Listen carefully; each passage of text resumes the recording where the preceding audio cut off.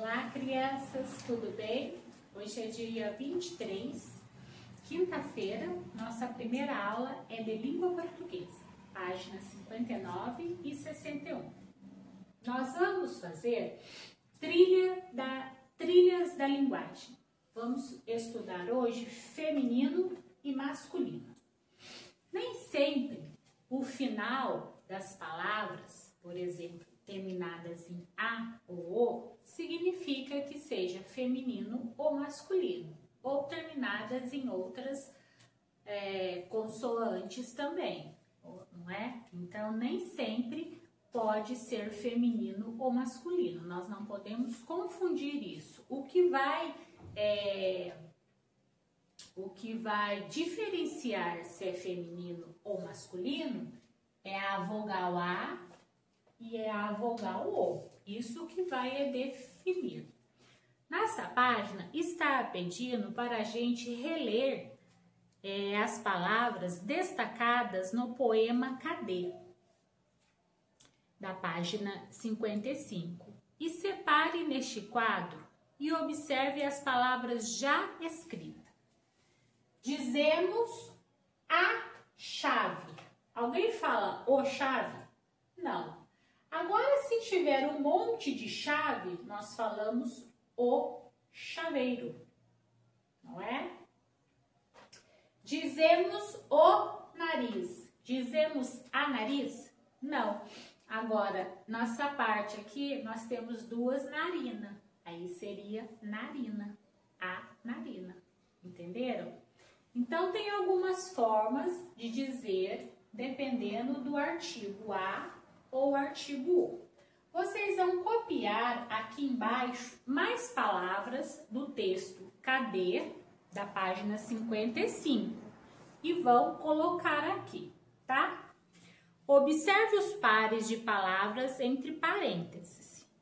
Pinte aquela que completa corretamente cada frase e copie no espaço correspondente. O dedo estava, tem lá do lado, sujo e suja. O dedo estava o quê? Sujo ou suja? Hum, vocês vão pensar para poder responder. O lenço foi, vão completar lá, perdido ou perdida?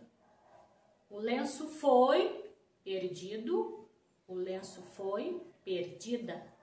Preste atenção. A calça nova novo ou nova. A calça novo e a calça nova. Pensar, tá? Então, a tia vai ler uma parte aqui que é importante para vocês. Atenção, não confunda o gênero das palavras masculino e feminino, foi o que eu acabei de falar, com o sexo dos seres vivos, objetos, lugares, Sensações têm gêneros, apesar de não terem sexo, entendeu? Então não importa se é masculino ou feminino, o que importa é esse artigo aqui. É, observe o carro, a carta, a casa, o prédio, a alegria, o remorso, Antes dos nomes masculinos, então, colocamos aqui, ó, o, os, um e uns. Esses são da parte do masculino. E antes dos femininos, nós colocamos a, as, uma ou umas tá? O modo mais comum de formar o feminino de uma palavra é substituir ao final dela a letra O pela letra A. Menino, menina. Mas há outras maneiras também. Por exemplo, se eu falar de um dentista, como nós vamos saber se ele é mulher ou se ele é homem? Então vamos lá. Dentista dentista.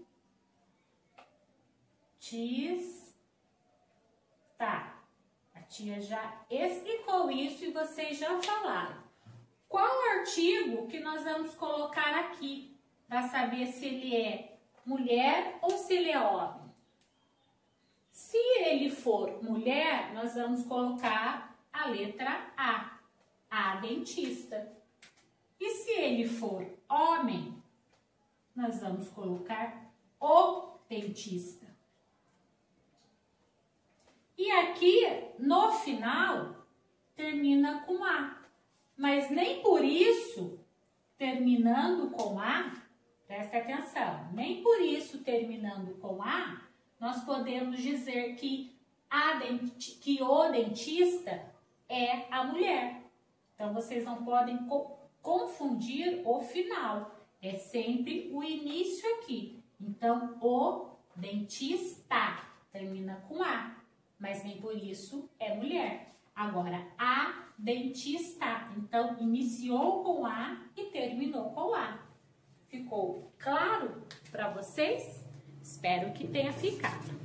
Depois nós temos exercícios a serem feitos até a página 61, tá? Tem um textinho para ser lido e sentidos do texto, que vocês já sabem, é a interpretação do texto. E aqui tem um saiba mais. Quem vai ler o saiba mais? Por favor, Enzo Rocha, leia o saiba mais. Saiba mais. Trava-língua. O trava-língua é um conjunto de palavras que unidas são difíceis de falar em sequência principalmente em velocidade alta. Há alguns muitos conhecidos como três tigres tristes para três pratos de trigo. E o peito do pé do Pedro é preto. Vocês viram que se falar isso rápido, eu tenho certeza que nem a tia Angélica e nem vocês vão conseguir falar, porque fica muito difícil. Eu vou tentar falar aqui só para vocês verem. Vamos lá. Três tigres tristes para três pratos de trigo. O peito do pé do Pedro é preto. Ficou meio enrolado, né? Mas é assim, é a brincadeira do trava-língua, as parlendas. Então fica tudo muito legal e divertido, tá? Então, vocês entenderam o masculino e o feminino? Então, fiquem espertos no final. Nem sempre a letra A ou a letra O quer dizer que é feminino ou masculino. O que importa é o artigo que vem na frente, A ou O. Tá joia? Um beijo para vocês e até a próxima aula de língua portuguesa.